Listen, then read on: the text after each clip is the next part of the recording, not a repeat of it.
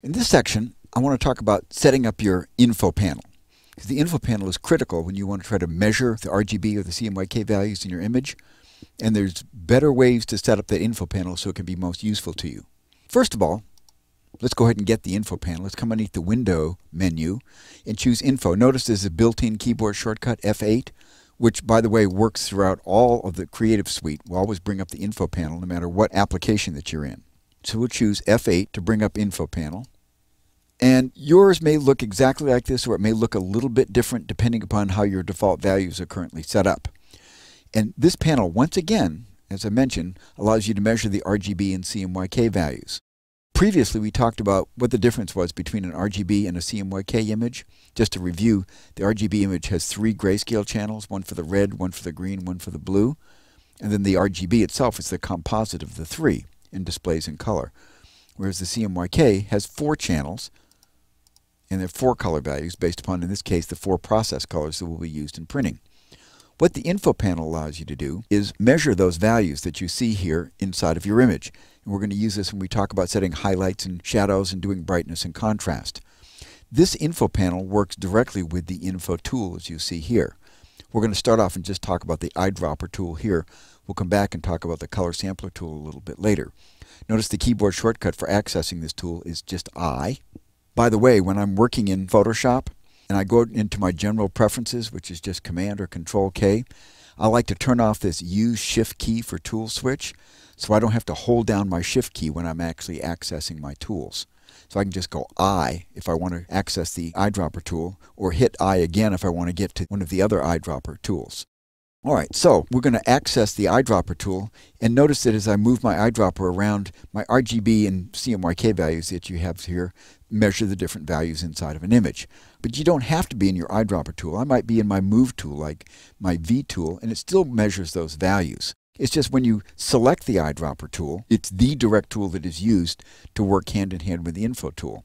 And one of the reasons you might want to go to the eyedropper tool for your initial setup is when you select the eyedropper tool, I, you can come up here and choose your sample size in the options panel. If you don't see this up here, just choose window and come down here and then just choose your options to make sure that the options for that tool come up. And then my suggestion is to choose a 3x3 average for most images. Notice there's many other built-in sampling sizes. But you want to stay away from point sample because then you're just measuring one pixel on each of these channels, whether it's RGB in RGB mode or CMYK in CMYK mode. 3x3 gives you a more representative sampling of images in a small area. 3x3 generally tends to be pretty good.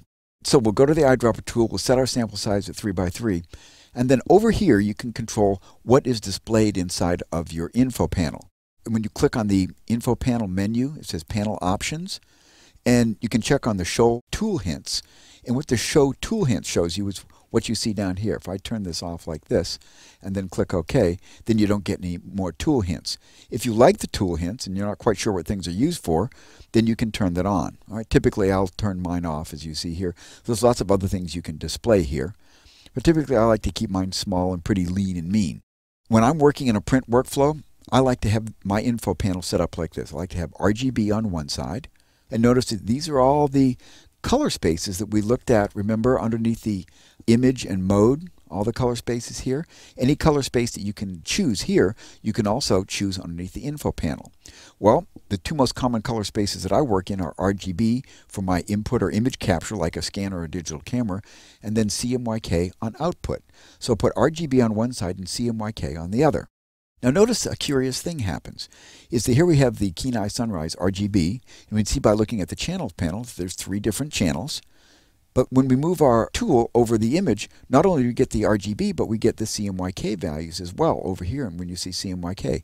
How is that possible? Well, you might remember this Photoshop color settings dialog box we access via the edit menu that we work with in the sections on concepts and setups, and again in the section on color spaces, color modes, and color conversion, where we set our working RGB and working CMYK profiles. Let's zoom into the top of this dialog box to the Working Spaces section. And this is where we assigned our Working Spaces RGB and Working Spaces CMYK profiles. And it is this working space's CMYK profile that provides us with the on-the-fly conversion from the RGB values in our image to the CMYK values that would exist if and when the image is converted to CMYK.